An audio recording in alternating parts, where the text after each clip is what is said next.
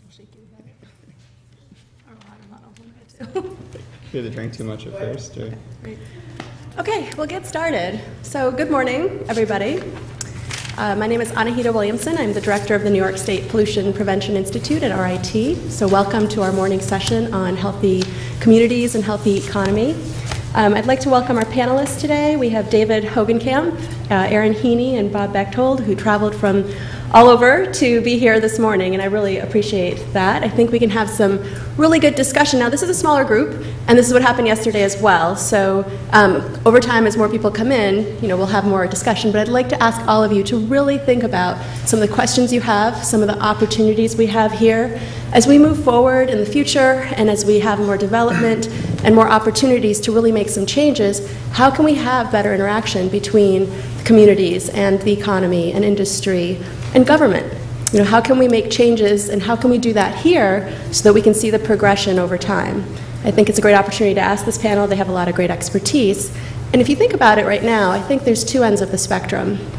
We have this great examples, I think the most famous is from Denmark, of industrial eco parks, where it's really this cradle to cradle model where there's industry set up so that waste from one is input to another, right? And that keeps going along, and that's really cradle to cradle, not much waste. That's really one end of the spectrum. Then you have the other end, which is also more of an extreme case, but that's going on right now in Tonawanda, New York, and Erin will probably mention that as well, where you have a community, there's a lot of industry, there's a lot of mobility going on there, and there is air pollution, and it's very real, and people have gotten sick. So you have that case as well. Then you have a lot of cases in between, where there's industries just all over the place, living with community, um, and you know, we're as through the institute, we do a lot of work with industry to help them optimize their processes, to reduce their waste stream, to reduce their costs, to, be, to help them become more competitive. But we also have been doing it one by one by one to some extent. For ourselves, we're looking at, for instance, the food industry. You have that's a major industry for New York State, food and ag.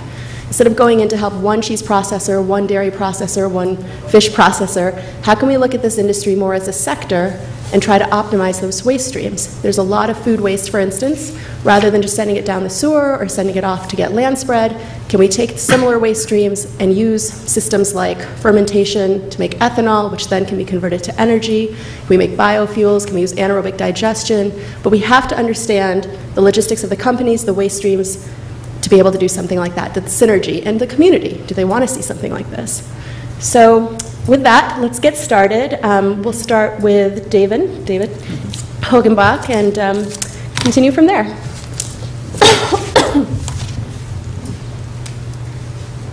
Good morning, everybody. Uh, I traveled two blocks down the street, so it was pretty easy for me. My name is David Hogenkamp. I'm with Empire State Future. Uh, what we do is we promote sustainable community and economic development throughout New York State. Um, what we call sustainable community economic development is smart growth. Uh, I don't know if any of you are familiar with smart growth, but there's certain uh, aspects that we really pay attention to. Uh, what we consider smart growth throughout a diverse state is what is a regionally appropriate sustainable community and economic development.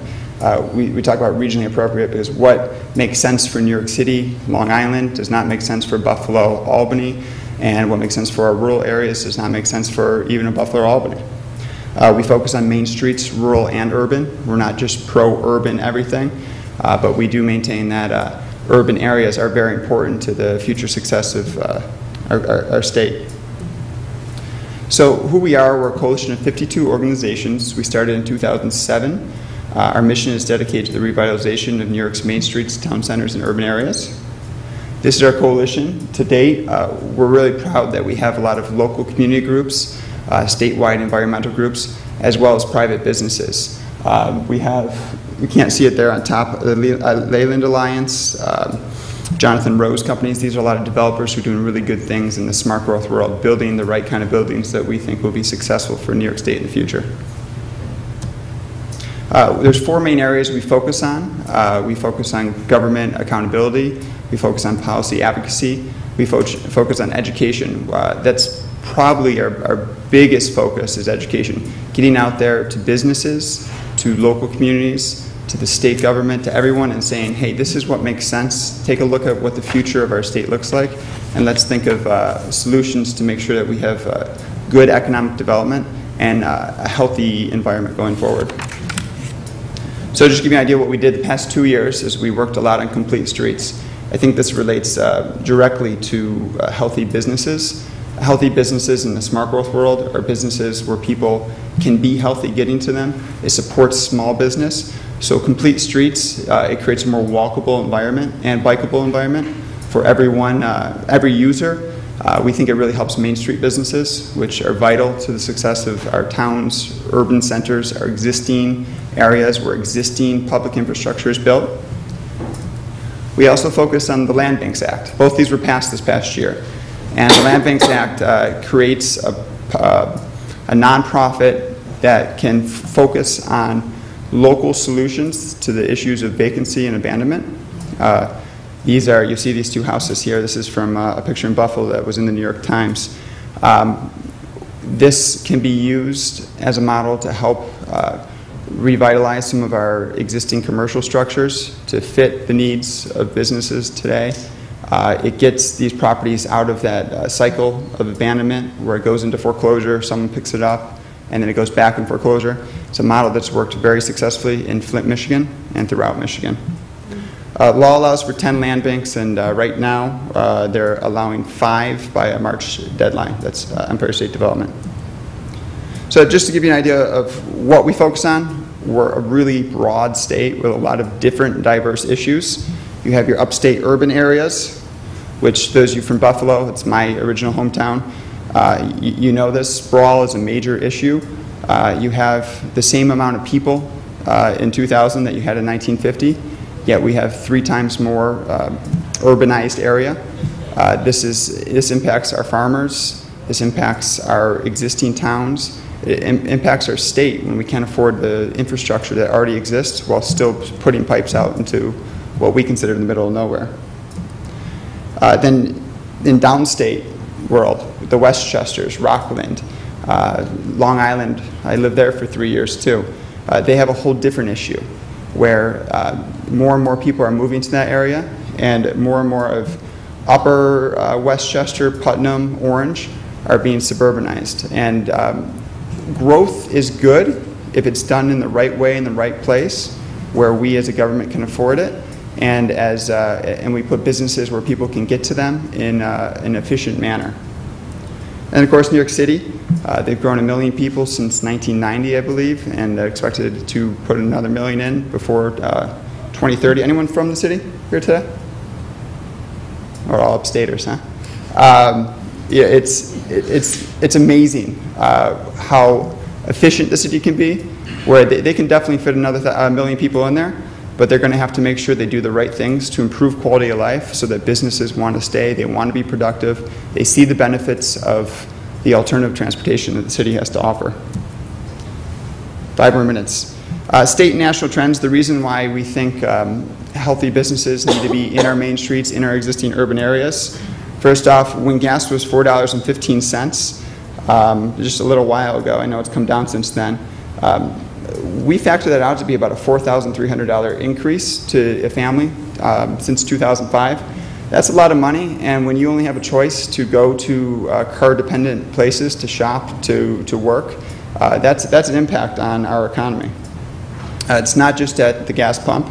Heating oil, natural gas, electricity, they've all outpaced income in uh, upstate New York.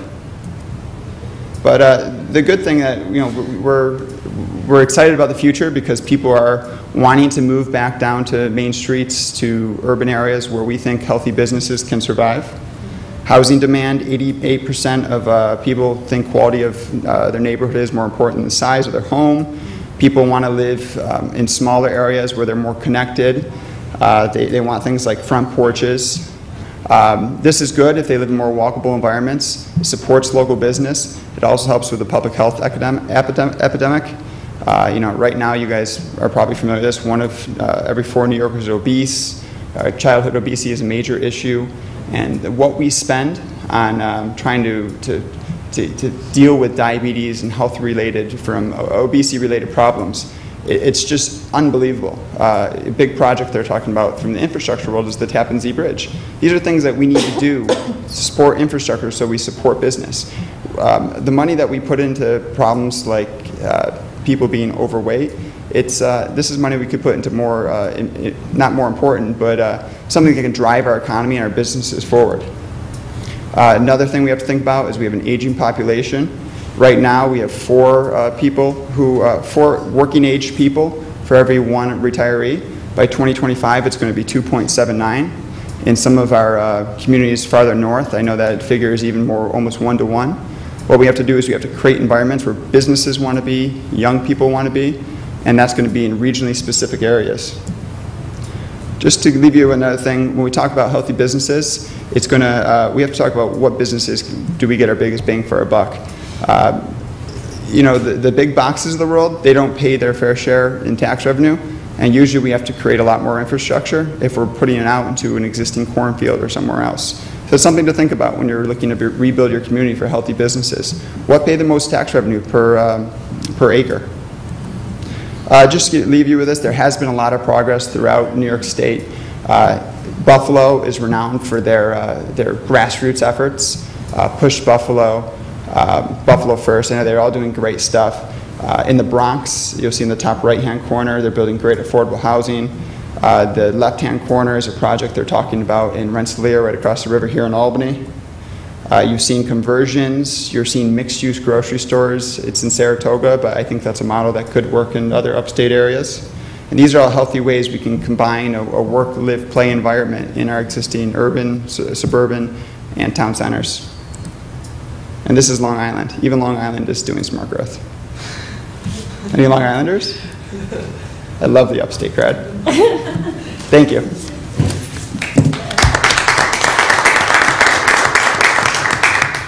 Thanks, David. So how we're going to do this today is just let the- each speaker go through um, about 10, 15 minutes each, and then we'll have the discussion at the end. So next, we have Erin Heaney from the Clean Air Coalition of Western New York. And I'm going to stay here, if folks. are That okay with sounds good. Okay. Um, So thanks, Anita, for having me. Um, The Clean Air Coalition is a grassroots environmental health and justice organization. Um, We uh, started in Tonawanda, our offices are now, which is the first suburb north of Buffalo. Um, We're now located in Buffalo, and we work in a couple different communities.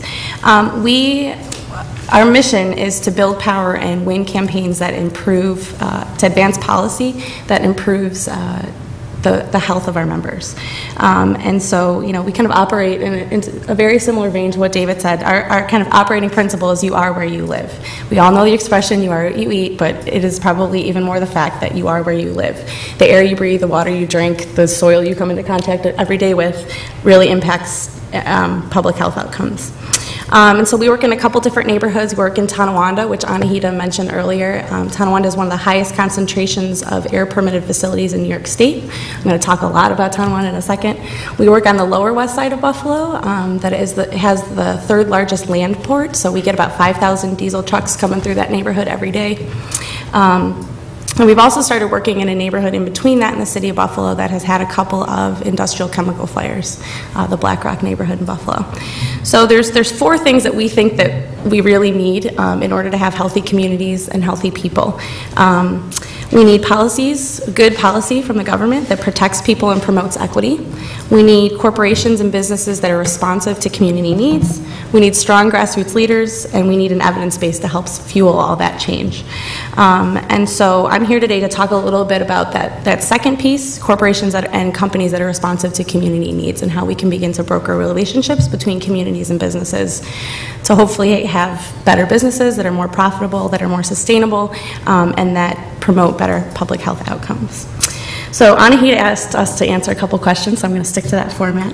Um, You know, the the first question Anahita asked is just why is it important that we are brokering relationships between businesses and communities, and why, why is it important that we're having this conversation? And for us, um, there's a lot at stake. It's literally our our members' lives. Um, Like I said, we're a grassroots organization, and so we have a member base in Tonawanda of people who um, are very sick. Um, In Tonawanda, as I said, there's 53 facilities in a, in a two-mile radius. So we have a, um, a coal-burning power plant. We have um, uh, the world's largest sponge-making facility. We have uh, a foundry coke facility. We have several petroleum distribution terminals. We have several uh, chemical storage facilities. We, those are the big guys, and then there's lots of other smaller facilities, manufacturing facilities. Um, And you know, the DEC's done a really wonderful job documenting some of the air pollution challenges that we have in Tonawanda. Um, Our benzene levels are the highest in, in New York State, where there are monitoring stations. Um, They're beginning to drop, which is really exciting, I think because of the work that a lot of people in this room have done. Um, But we have very high benzene levels, formaldehyde levels, and several other hazardous air pollutants exceed what New York State Department of Health says is an acceptable exposure limit. Um, And so all of these processes that are happening in these businesses are helping to contribute to some of the poor health outcomes that we see in Tonawanda. Um, New York State Department of Health did a health study um, about 10 years ago, um, not actually related to air pollution, but it looked at the same neighborhoods that we're looking at now, and found that there were several, um, that we have elevated levels of several kinds of cancer in Tonawanda. Tonawanda has uh, elevated uh, levels of asthma, and a lot of folks that work in the schools, you know, also are beginning to see a connection between that rising autism rates in, in that school district and, um, and the heavy amounts of industry.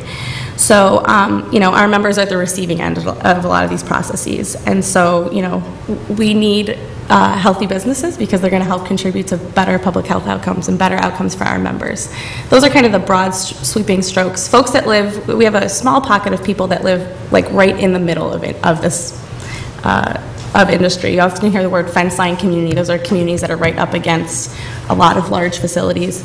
Um, We have it like a donut hole. So we have about 300 of our members live right, right smack dab in the middle. And it's not uncommon. Um, Most people that live on that street have lived there for a very long time.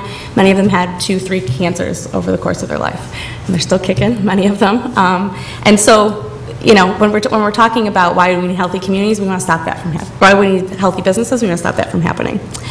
So I'm going to talk a little bit about what's worked well. We're a relatively young organization, um, and so uh, we don't have a lot of lessons to share yet, but I can share some things that I know haven't worked, and then I want to share some ideas about how we can, you know, build better relationships in the future. Um, we ran a campaign against a company uh, about two years ago, Tonawanda Coke Corporation, um, and it, it turned into kind of an aggressive uh, campaign. Um, we had we were asking uh, regulatory agencies to get involved to do enforcement action at the facility.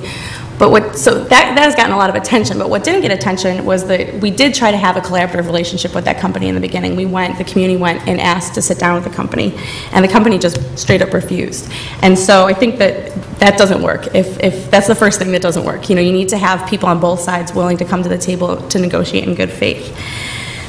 Since then, um, there have been several companies that have come to Tonawanda wanting to relocate to Tonawanda or wanting to open their business in Tonawanda, and we've begun to broker conversations between the community and those business owners or the potential business owners. Um, And so I think there's a couple things that, that work, that are really important to, to beginning to build a collaborative uh, relationship. It's really important that communities are armed with really good data and that they have the skills to be able to negotiate.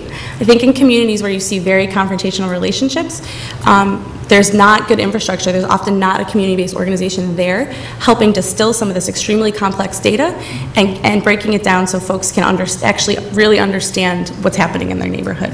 Um, it's important that you have that data too. Without the DEC's air monitoring, um, there would be no data by which we can make any kind of decision. So that's the first thing you need. You need good data. You need a mediating institution like a nonprofit or a really good um, public health department that's helping communities understand um, what's happening in their neighborhood. And they, they also need the skills to negotiate. A lot of folks, um, where you see heavy industry, you tend to see low-income populations um, that, that probably, you know, the, the, um, a lot of folks haven't gone to college, haven't completed high school even, and negotiating is a tough thing. And so actually giving people the skills to be able to go in and have the confidence to talk with companies about what they need in their neighborhood is, is really, really important.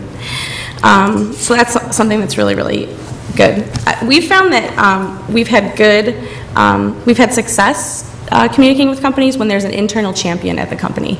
Um, If there's not somebody on the staff that is really um, committed to this, um, it's, it's not going to work. Um, And we need the companies to come and negotiate in good faith. There've been, there's some communities that um, have gone to companies, and the companies have sat down with them, and, they- and it it's becomes very clear whether or not the company is there to negotiate in good faith or not. Are they actually willing to give something to the community that they're saying that they need?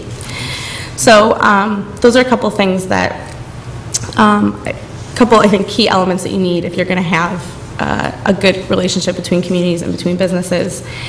You know, in the future, I think that we need um, more incentives for companies to do the right thing, um, not just out of the goodness of their heart, but we need policies um, and financial incentives for companies to do the right thing and to be able to, to give communities what they need. So, so some ideas might be, you know, uh, providing more funding for the, the Pollution Prevention Institute to do more audits in these communities. You know, Anahita's got the vision of what it could look like to have a, a, a, you know, an industrial facility uh, corridor that really is minimizing waste. Um, providing financing to actually implement those solutions, um, and you know, maybe attaching financing to do um, to help companies do things like become B certified um, or get certified by a third party that's going to be able to, to um, certify whether or not they're actually doing things that are green. Um, so, you know, I think that we need to continue to invest in, in nonprofits that can be doing that education with communities. We need, um, the government, just, one of the questions was like, what can NGOs and businesses do? And I think the government has a really, really important role to play in providing, in providing those incentives. So um, I think that if we invest in educating communities, we invest in providing financial incentives for businesses to do the right thing, I think we're going to see communities that are a lot healthier, communities that have built trust between companies, uh, with companies, and hopefully we will have better public health outcomes and probably more profitable businesses, so. That's it. Thank you, Erin.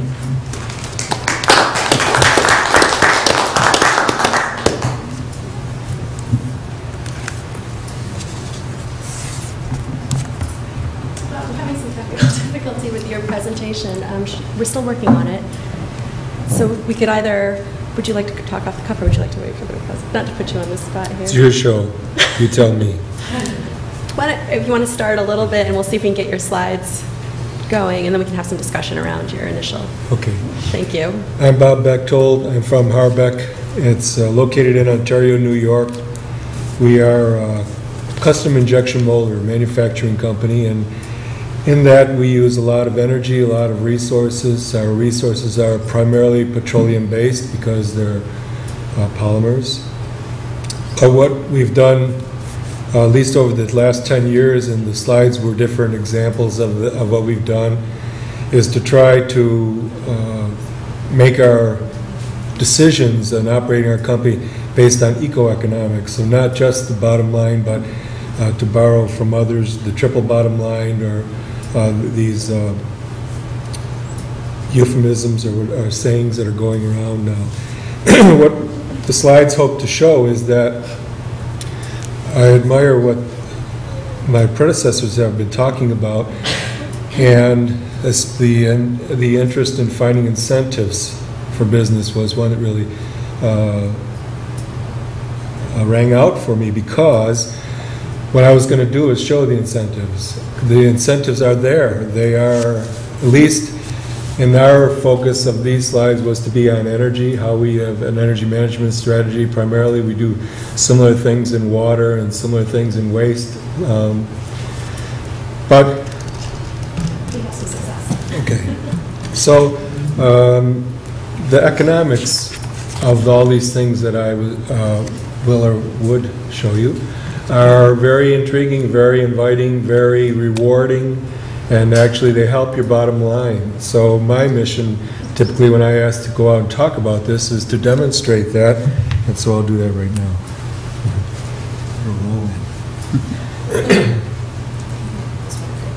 Okay, thanks. And, uh, can you hear me still? The, uh, don't step down there, did you say? Do sit? Okay. So, uh, I think I just said pretty much what's on there. The, the, um,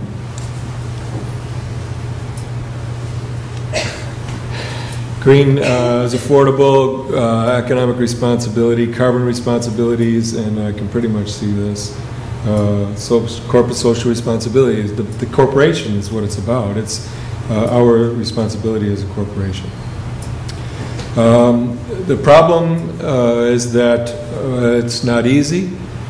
Uh, So in ways that you could really help businesses is to try to get banks to wake up because they're not there to do, and most of the reason why is because we're talking about longer uh, payback periods and everybody has this one mindset about what you should be willing to consider a reasonable ROI.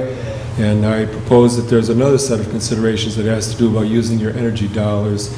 As long as you can pay for it with your energy dollars, it shouldn't really matter about this three-year limitation is typical. Some of the things we've done, uh, that, uh, briefly, just to touch on, a combined heat and power plant, our initial wind turbine, uh, nine years ago this month. Uh, Lighting upgrades, combined heat and power project paid off, uh, uh, eight years, or seven years actually, after it was put in. Uh, Wind turbine paid off uh, a little over, a little less than eight years. Um, We're in the process right now of putting up our second wind turbine, and by this spring, we will have two wind turbines on the site. The new one will be uh, twice the size of the original one. The Reason we're doing that is because the original one already paid for itself, and now we have about 12 to 20 years of additional 300,000 kilowatt hours a year coming to our company at no cost. Uh, Basically at no cost. We have maintenance, but that's all. This is our combined heat and power plant. Uh, We are actually in the process right now of upgrading this. It's over 10 years old. It has performed incredibly well, and, but it's running right now at about 80% potential because some of them are getting tired after 10 years of continuous operation or more. And so we uh, just were awarded a grant from NYSERDA, who did not have any involvement in the first time, but now they, it's just proven that it works. And so we're very happy that they are helping us to upgrade and refresh this uh, in this next coming year. But the important thing is that, um, uh, again, the seven-year ROI is a tough sell at the bank. So not only does it provide electricity for us, if you're not familiar with combined heat and power, but it also provides heat and air conditioning. This is a schematic version, real-time presentation that's on our website that you can look at anytime. Not only can you tell what it's doing at the moment, but you can explore any one of the elements by clicking on it, and it will give you all the historic data. Our wind turbine that I mentioned, why does this work economically? Um, Everybody talks about the horrors of wind not paying and all of that. We're not even on that great of a wind site. You would never put a wind turbine on, we're on our, our wind farm on our site because it's not uh, bold enough or pr- productive enough to pay off the investors. But it's a completely different economic model because the wind farms produce wholesale. So they're six and a half to seven and a half cents what they can hope to sell their power for. We're displacing retail. So every kilowatt that this makes is worth, is displacing 15 and a half cents a kilowatt hour. So it gives us a very uh, nice revenue stream of uh, over $45,000 a year, paid itself off, and uh, 20 to 25 years engineering life to rebuild. That means that rebuild time, someplace, the worst-case scenario, 20 to 25 years after it's put up, you can refresh it for, at the most, half of the original project cost, and start over for another 25 or 30 years. Our fleet is small, but we have five vehicles. They're all considered green vehicles. They're either all-electric, hybrid electric, uh, diesel, or hybrid, hybrid electric gasoline. Our newest one was now uh, one year old, uh, or one month old. We just got a Volt, and it's actually in Detroit now at uh, visiting customers. The uh, idea of sustainable buildings is to conserve. So we, while we're not LEED certified, we learned a lot from LEED, but 10 years ago, they didn't even understand about industrial and that. So uh, we learned the principles, the ideas, and applied them wherever we could, didn't get certified.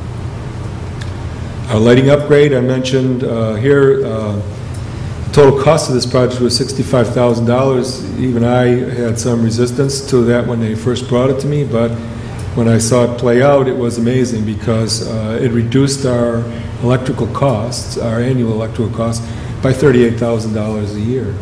And a $65,000 project with a $16,000 grant and $8,000 in tax credit, so it paid for itself in less than a year and a half. And now, three or four years later, we continue to see that 38,000 or more to the bottom line. We take this way of thinking through every decision that we make in the company, and because there's lots of equipment and lots of energy using, everything has to meet the metrics of not only what does it cost and how can we pay for it, but how much energy does it use compared to every other alternative that we can find. And then when we take, when we find the most energy efficient, We compare that to the almost always additional price that it costs. And as long as we can, within a a reasonable amount of time, justify that additional cost, we will happily pay more for something that in the long run will save us more than the differential. And of course, all of that savings, and I'm ba- barely here, basically here introducing the economic, or the environmental part of this. Every time we save this energy or reuse something, we're saving money. And every time we do that, it goes to the bottom line. And money saved in this way is actual dollars. It's, it's final dollars. It's what you work all year long for to accumulate and to have some degree of profit. So these are dollars that go right to that final point because they're the real dollars of your company. If you're not paying them to a utility, you're paying them to your employees or, or uh, investing in the future of your business. Again, more examples, uh, all electric, all of our molding machines are electric, we have no hydraulic machines. Why? Because an electric machine is 50% more, can be 50% more economical uh, energy-wise and do the same exact job or better. So does it cost 50, 25 to 50% more initially? Yes, but you get that typically back and again in two or three years. Um, Continuing on with other examples, uh, even air con- uh, air compressors, things like that. But the ecoeconomic conclusion of all of this is that we control operating costs, we improve our competitive pricing because we're helping ourselves out economically, we ensure power reliability. When we have blackouts, we really feel bad about it for all of the other people in the community, but we don't have a blackout. We can go standalone and run our company on our own turbines and our own potentials until the blackout is over, and then at our convenience, we go back on the grid. Uh, We also provide um, predictable energy costs decades into the future. I know exactly what 300,000 kilowatt hours a year that our company uses for 20 years, because it's the wind. The wind turbine gives me 300,000 kilowatt hours a year. So I can either take it all up front, which is our preference, we like to pay for it at the beginning, so therefore I talked about seven to eight years payback. Or you can take it over the life of the project and then reduce your energy costs by half or a third of what they would be during that period. But it's predictable. Wind is predictable, solar is predictable, plus, plus or minus 10% per year, no matter where you are and what it is. Uh, This is just a quick example, but I'm probably, am I near the end of my time? How much time do I have left? A couple minutes, okay. So this is, again, some more of the ecoeconomics of that, and it's an interesting way of, of looking at it that I was given the advantage of as I experienced it.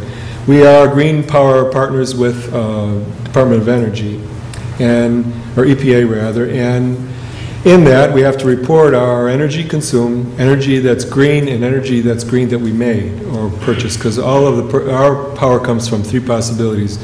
Our wind turbine, the microturbines, which run on natural gas, and then our power that we buy from the grid, which we buy 100% green power.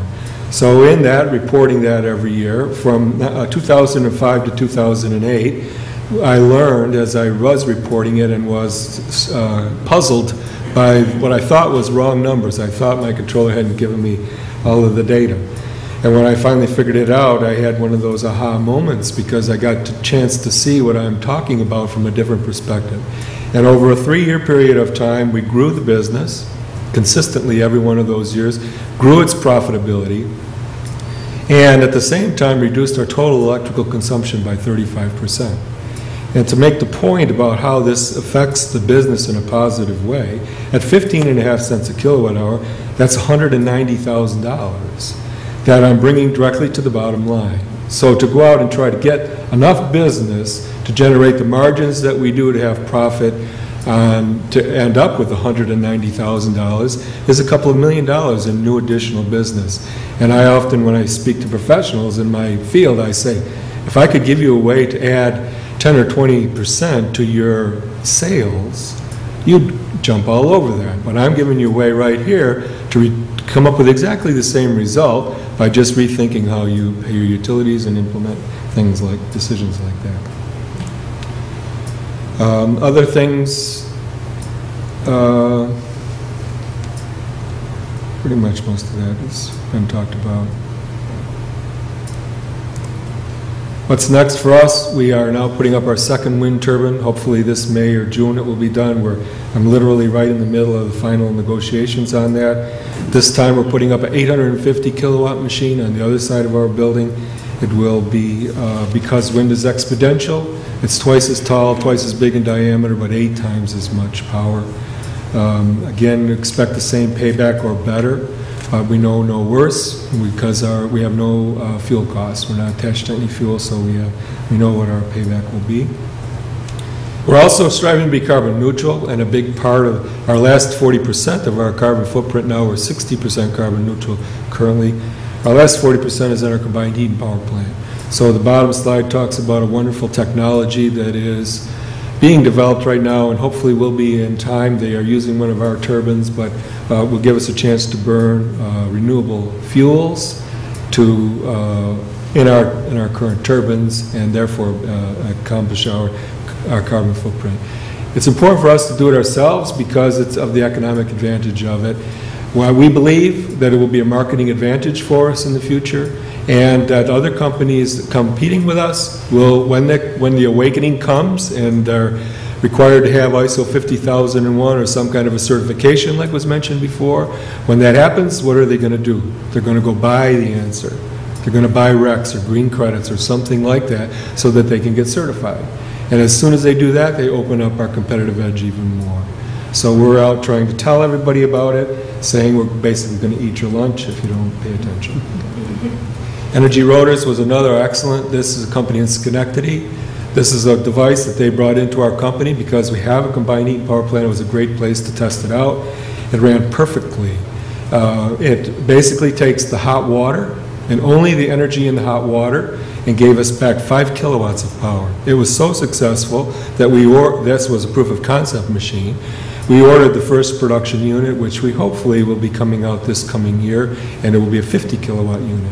So in our combined heat and power plant, we hope to introduce the hottest, most premium hot water to this device first. When it's all done, taking its couple of degrees only out of the water to give us the 50 more kilowatts, then we'll continue to do the same jobs the water's already been doing. So our BTU efficiency in the plant will raise from 60 or 70 percent, depending on what time of year, to hopefully 80 and more percent as we go forward.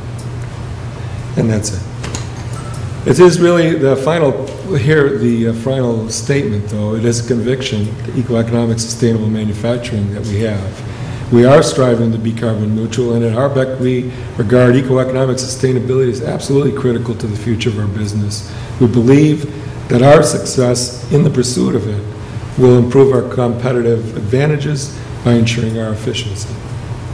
That's all I have.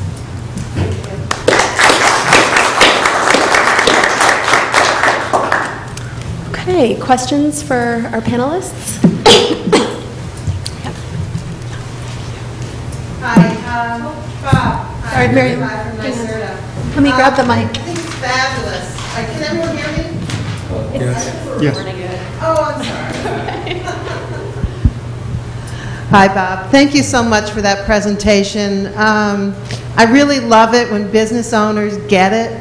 They understand that this really makes a difference, a positive difference to the bottom line. And, you know, I guess my question to you is, you know, when, what, what, act- what was the first reason why you saw the light?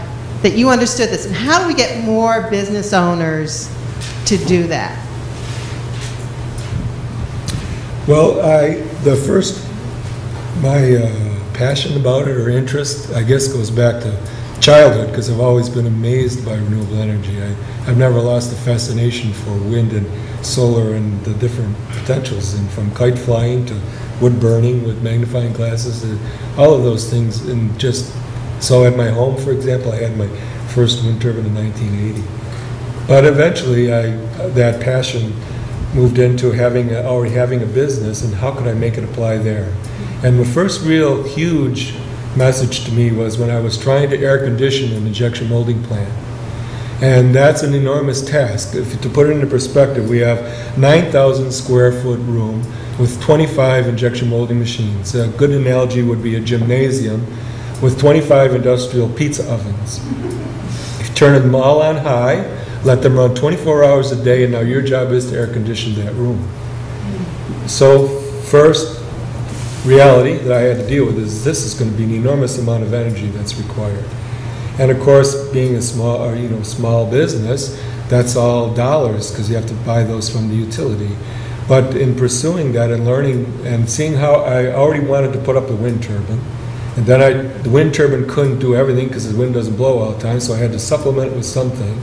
And then in the process of finding out about that, I learned about combined heat and power. And so now we do that task, 25 pizza ovens in a gymnasium, day in and day out with no new energy. We're not using any new energy or additional energy to air condition that room because we're using a uh, combined heat power plant. We take the hot water to an absorption chiller. It give, we give it 200 to 210 degree water. It gives us back 44 to 47 degree cold water, and that's how we accomplish our air conditioning. So we're literally using what the utilities, what the world the normal model calls waste heat, it's not waste. It's only waste because they're stupid and they're throwing it away. It is potential. It's, and we call it thermal opportunity. We always try to catch ourselves if we ever say waste heat because it's only, it's just waiting for you to think of something to do with it. On top of that, we make that job four times more difficult because we have, every one of our molding machines is vented to the outside through an eight-inch uh, flexible pipe. So that means that when you walk in our molding plant, usually you expect to smell the very, very pungent plastic that when people go home, their wives make them put their clothes in the garage because they don't stink up the house kind of stuff. It doesn't smell that way at our company. And so that opportunity to have all that fresh air makes our air conditioning job four times harder. And still, we use no uh, new energy, just this thermal opportunity for making the electricity that we need anyway to run the injection molding machines. Other questions? Barbara?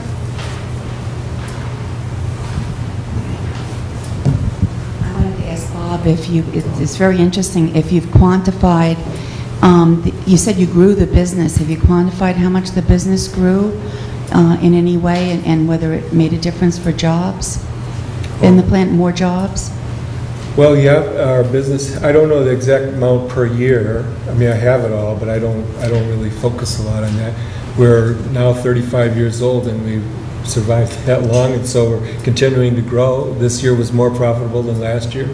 You know, we hit the recession just like everyone did and dropped 25%, 30%, something like that, and now we're back beyond where we were during the recession, so um, I think our, we have two kinds of edges, a competitive one, but also innovative one. That's a whole nother talk, but we have a lot of technology and opportunities to add uh, a good story to the manufacturing community. And a lot of them have no idea about what I'm telling this group. They don't, they just assume we take our energy. They get an idea when they drive in the parking lot and they see this enormous wind turbine, but they kind of think that's maybe my hobby or something like that. And most of the time, they don't even ask about it.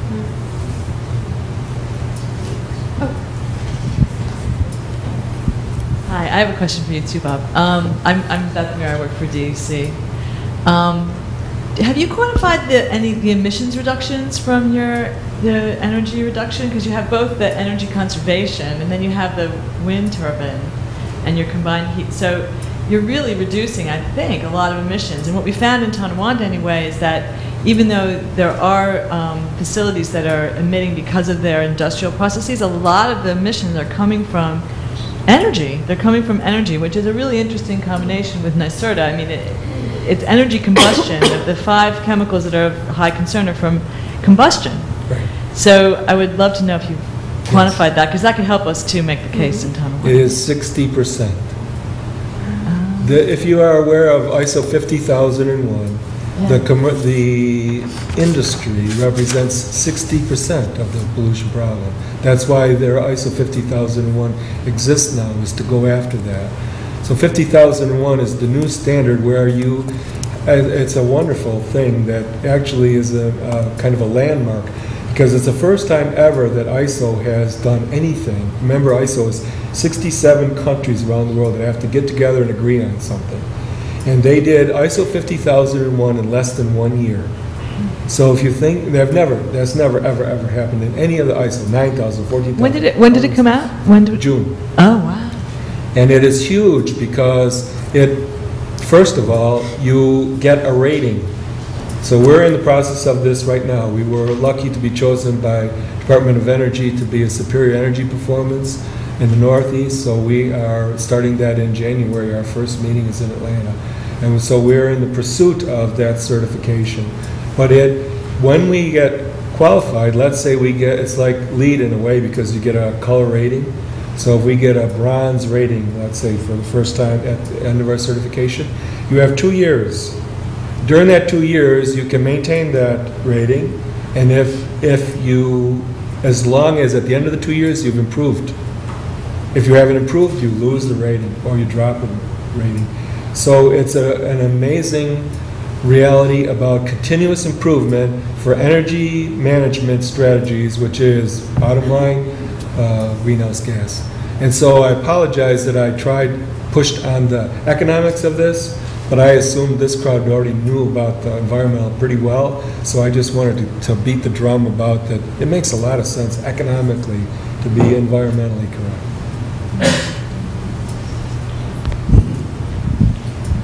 Hi, uh, question for Erin. Um, I was kind of alarmed to hear about this air pollution in Tonawanda and, and just, I guess I just, from the eastern part of the state, um, was, was kind of surprised. But is this due to individual companies being out of compliance? Or is it a combination of all these companies together that are creating this issue? Yeah, um, I think the challenge in Tonawanda, there are a couple bad actors in Tonawanda, but I think the real problem comes from such a high concentration in such a small area. Um, and, and, you know, having people right there, and the way the wind blows, um, the predominant wind direction, there's a, a a neighborhood right there as well.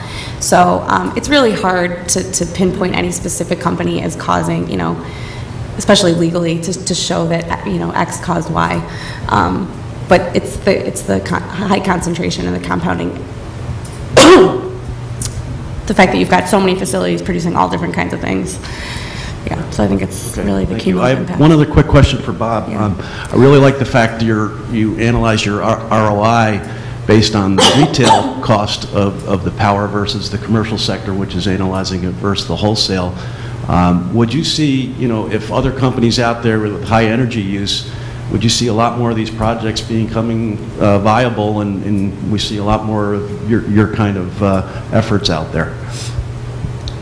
Well, I, uh, that's, that's why I do this, come to talk to people about it, is to get that message out, because unfortunately, uh, uh, people most, probably the most asked question is, why don't more people do it? And I don't know the answer to that. I know why I did it, and it makes good economic sense, and I happen to care about the environment, I have grandchildren and all those other reasons, but I think the reason why don't more people do it is because energy is too cheap. It's way too cheap. You know, we're not paying the real price for energy. So the hope, what I see will change that, is carbon reality. And when we have carbon reality, this 50,001 that I'm talking about is like the great white hope for that, because that is, in whatever way you look at it, it comes down to carbon reality. You know, and we, we live in a world that throws away 75% to, to deliver 25% to your house or to my business. I don't get, that doesn't quite work, you know, and when we have um, unsurmountable um, problems, well, why don't we start there? And so I don't, I just try to show that it makes great economic sense. The environmental part is even huger, and I'd love to, I have done the analysis, and I've got, I've turned it, if you like to look at our website, we've got one where we turn, how many forests does it take to make a Harbec or something like that? We turn it all into acres of, of forest. So we do, we think a lot about that and how much greenhouse gas is not being committed as a result of what we do. Other questions, comments? I have a question for Bob and Erin. Oh, where? Oh, Tim. Your question? I'll go last. Hi, Tim Kirchgraber from DEC. I had a question for David. I was hoping you could talk a little bit more about the, uh, what was it, the Land Bank Use Act? The Land Bank Act? The, la- yep, the Land Banks Act, and if you had any, um, since you're only a couple blocks away, if there's any examples of how that might have been applied in the Albany County area? Okay. Uh, ac- Actually, in November, we held a meeting where we brought in uh, one of the most successful people from Flint, Michigan, to talk about how they implemented the land bank uh, in, in Michigan. But the Land Bank Act, so the, the idea of it is to start a nonprofit organization that uh, has uh, the power to take control of property. They can then either keep it, rent it, they can renovate it, they can um, send it to someone who they know is going to do something with the property that fits the community's vision. And uh, the, the whole idea is to take local control and ownership over properties that mean something to, to an area. So for example, for residential property, if you have one property which has just been that bad apple, and you have two or three good properties around it, and you know if another property starts to go, that whole block could deteriorate. The whole idea is the land bank can take that property, refurbish it, either keep it and rent it, or they can um, uh, sell it to uh, uh, a homeowner that you you trust is going to do the right thing. You can also start, uh, you know... nonprofit make that decision? Well, the nonprofit is controlled by a board, which is controlled by people within the community, uh, community leaders, but also government officials. But yes, the nonprofit has the, the ability to make those decisions. Um, in Albany and a lot of cities, Buffalo, Syracuse, we have a lot of buildings that are beyond that stage where you can really recoup them. They can also take them down and sell them as a side lot to a neighbor. They can split them and sell them as side lots to both neighbors. Whole idea is to create a more livable environment so that we can get businesses, uh, you know, as Bob's been talking about, it, it makes a lot of sense to do a lot of these energy uh, efficiency issues because it, it makes economic sense. It also makes economic sense to have a vibrant urban center and vibrant main streets. And the more people that we have surrounding mass transit and using that, the more economic sense it makes for our governments and for those individuals. So yeah, land banks, um, you're in Albany? Yes. Contact your Albany County representative and tell them that you're excited about this idea. I know Chris Higgins was at our event, he's very excited about it. Something that could really help uh, the Albany region, Buffalo, and all the upstate regions. Thank you. So, question for Erin. When should communities and businesses really start to build these relationships, and what are the means to do so? So, for instance, in Tonawanda, um, you know, when there's there's a crisis, there's often a conflict, maybe between the NGOs and the industry, right? So, what are your thoughts about when there's not a conflict and there is, for now, a healthy environment? Um, what are the means for those communications to start happening in a non-threatening manner? Yeah, so uh, Buffalo Color, which is a, a company in Buffalo, it's not in Tonawanda, it's in the city, they have a very successful relationship with the community that borders their facility. And it's an ongoing relationship. So it was born out of a crisis, there was an accidental release, people were really concerned. Um, but the, they had an internal champion at the company that came and negotiated in good faith with the community. And so the, the company up front kind of invested in some things that the community was asking for. So like an emergency response, you know, some way to communicate when there are emergencies. Um, the company actually let the community do testing outside the facility because they trusted them. And then it was an ongoing relationship, so there were like quarterly meetings that they, sorry, I'm losing my voice, um, that the company had with community leaders on a regular basis. So yeah, I think it's really important that it's not a like, haha, gotcha. Um, though sometimes that's important. Sometimes, you know, when there are accidents, companies need to be called out. But if we have, an, if they have an ongoing relationship, it doesn't have to be this tenuous, you know, hopefully that, I'm sorry, I need a can of water in here. Hopefully, the relationship's there, so when, I can't talk.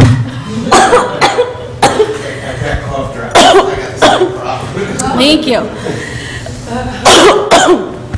So hopefully the relationship's there. Um, So, you have a cough drop? Thank you, thank you, thank you. Thank you. And I mean, the community, the two companies that have come to us, there's a biodiesel company and a recycling company that have come to us before they moved in and, and said, I want to, we want to talk to the community. We want to build this relationship from, from the very beginning so that we don't have issues down the road and so that we're addressing things that, you know, the people who literally live down the street from us are worried about. So, yeah, I think it's got to be an ongoing relationship. That takes a lot of work, takes a lot of time, but I think that's how you're going to address the issues before they become too bad. Thank you.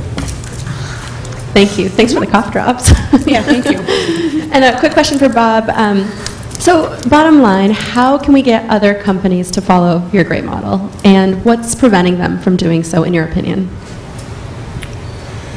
Uh, I think you'll see a whole lot of responsiveness and, and uh, action happening if you half or double the cost of energy, you know, and I don't think that's going to happen because everybody claims that that will ruin the economy.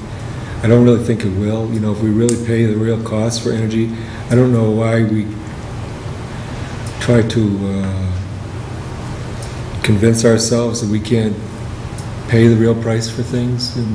I believe when that happens, when we pay for carbon, we will, some companies will lose a little and some companies will win a little. So it'll be kind of a dis, it'll be a reproportioning, a reapportioning of things, but it won't close us down. And proof of it is countries that are more mature than us, who are already paying more than us, but have quite substantially less impact on the environment than we do. So there's great teachers out there in the world, and I, I don't know any other way that you're going to get people to change than to hit their pocketbook.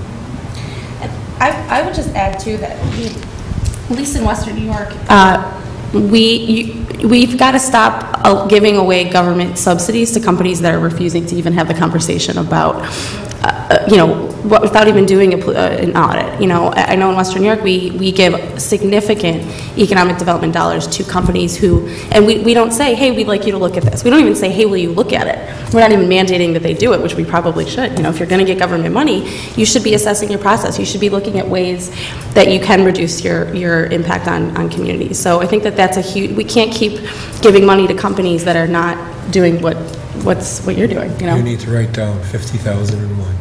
50,000. Yeah, ISO 50001 is that. You Yeah. could make the people that are, eli- want to become eligible for these benefits or opportunities, make them get ISO 50001 certification, because that says they're going to be responsible. Right. Uh, Or something like that, but that one is right in the front of the men- uh, industrial world right now.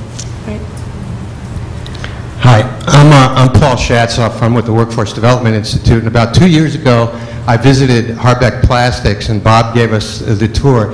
If you're ever out that way and you want to see a laboratory for uh, not only a clean energy environment, an innovative energy, energy environment, all in one small area, it's pretty amazing what he's done. Um, from using waste energy from a horse farm behind his plant to uh, the wind turbines uh, and and to all the, to capturing the water on the roof and a pond and, and some of the other things he's done, it, it's, it's really fascinating. And, and, you know, a lot of us, uh, we're, we're trying to do a lot to promote manufacturing in New York State uh, at the Workforce Development Institute and change the image of manufacturing. If you ever want to see uh, what a modern manufacturing plant looks like, uh, and, and I know Bob would be willing, I would think, that, to walk you through. Uh, It's, it's just a a fabulous place uh, to go through. It's clean, the employees are smiling, and then you see all this uh, innovative energy stuff all around you, uh, and that Bob takes such pride in, and he should. But, um, so I want to commend you, and I wish there were more people like you, and, and uh, that, you know, that we're doing the sorts of things that, that you're doing at Harbec. So Thank you. Just to follow up on that, I used to work at Xerox Corporation, and Bob is actually conveniently located next to Xerox. So every day I would drive to work, and you could see his big, big windmill. My husband and I would always say, "Who's this innovative company? You know, who- I can't wait to know these guys." And now you have another one going up, so that'll be great. Uh, I'm Pat Golden from the New York State Assembly. Um, David, you mentioned, or you cited uh, some uh, recent surveys talk, uh, discussing people's feelings on living uh, more urban, less ex-urban. And I just wanted to know, I mean, the attention focused on that probably in terms of the the demographics and the economy, how those, how those things affect those kinds of surveys, those answers. And, I mean, how you overcome, as things swing back, the economy uh, improves, uh, demographics change, how, you know, if, if there's any thoughts on how we address keeping that momentum going in terms of people living, you know, uh, making quality of life more of an efficiency thing in, in terms of uh, uh, space, I guess. Uh, you know, Yeah. people I, thi- I think our two major points are that energy costs are driving uh, a lot of people's decisions. I don't think that's going to change. I think that um, energy costs might not rise to the level that we might want to see, but they're definitely not going down to a dollar or a buck 20 per gallon of gasoline. Um, So I think with higher energy costs, people are going to have to start thinking about being closer. Another thing that's not going to change, we're getting older, especially upstate New York. Um, It's, we're going to be having fewer young people paying for an older population. That older population, I think s- I think 70% live in single-family homes, usually in the exurbs. They're going to have to, if they have enough saved for retirement, uh, use that money to be taken to doctor's offices and to uh, activities that they want to do. Um, So the momentum, I think, will come, and my age group, a lot of us are just saying we're not that interested in that uh, exurban lifestyle. Uh, Not to say that some will still be interested, and that's fine, but we have to create that environment where uh, the majority of our population wants to live around places where you can work close to it, or at least get there by transit, or you can, um, or you can live close to something to do. So uh, I think the momentum's there, and I think that energy and an aging population is, it's going to stick around even if the economy improves. Okay, well, that concludes our session this morning. Please join me in thanking our panelists one more time.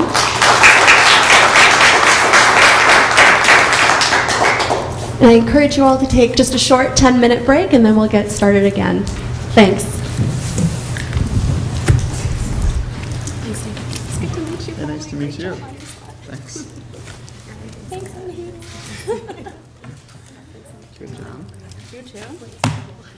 Bob, I want to take you home with me. I know, isn't it?